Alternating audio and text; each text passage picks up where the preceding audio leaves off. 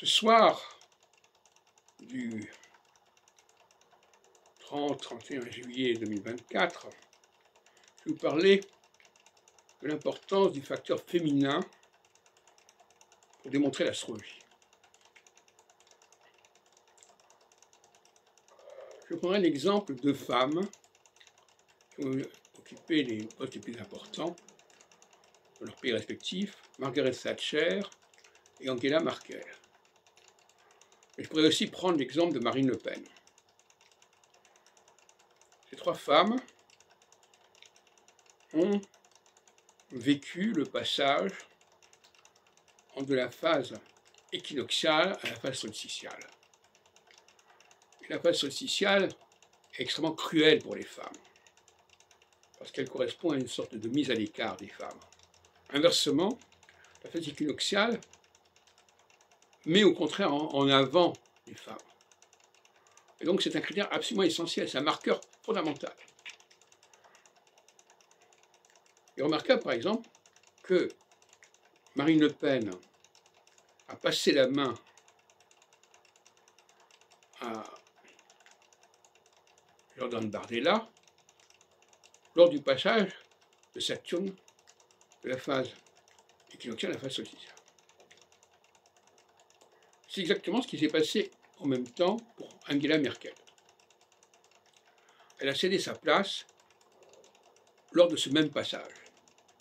Mais 30 ans plus tôt, 30 ans plus tôt, c'est Margaret Thatcher, en 89-90, qui a dû quitter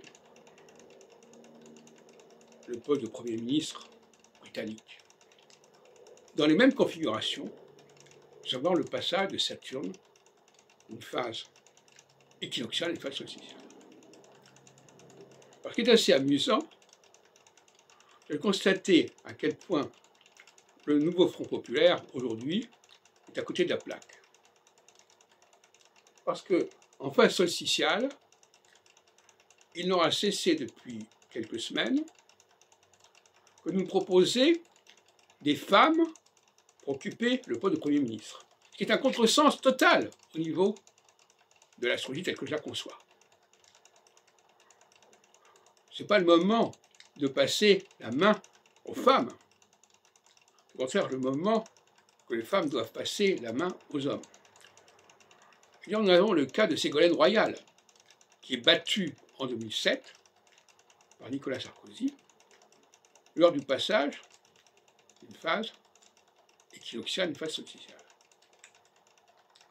On pourrait parler aussi de Brigitte Macron, qui en 2017 joue un rôle important pour euh, Emmanuel Macron et qui va être plus ou moins mise de côté lors du passage qui suivra l'année suivante en phase solsticiale. On pourrait continuer indéfiniment ce genre d'exemple. Dans le milieu astrologique, par exemple, il est clair que cette période que j'avais signalée dans des cahiers, dans le bulletin de la Société de France, où tout d'un coup, les deux grandes structures fédérales qui se constituent sont présidées par Daniel Rousseau, la femme Daniel Rousseau, et par Denise Après, on, on, leur laisse la main, on leur passe la main, et eh bien c'est également le même phénomène, à savoir qu'on passe d'une phase solsticiale à une phase équinoxiale. C'est l'inverse. Donc, nous avons là un critère majeur qui montre bien à quel point la différence entre les hommes et les femmes est fondamentale, puisque elles, ont des instincts complémentaires. Lorsque les hommes montent, les femmes descendent, quand les femmes descendent, quand les femmes montent, etc. Voilà, c'est aussi simple que ça. Donc là, on a une sorte d'aberration actuellement, car il n'est absolument pas concevable une seconde qu'une femme devienne Premier ministre en phase solsticiale, comme certains le croient au nouveau Front populaire. Qu'en 2027, ça puisse se produire, c'est un autre problème, parce qu'à ce moment-là, effectivement, on passerait d'une phase solsticiale à une phase équinoxiale. On n'en est pas là, très loin, loin de là.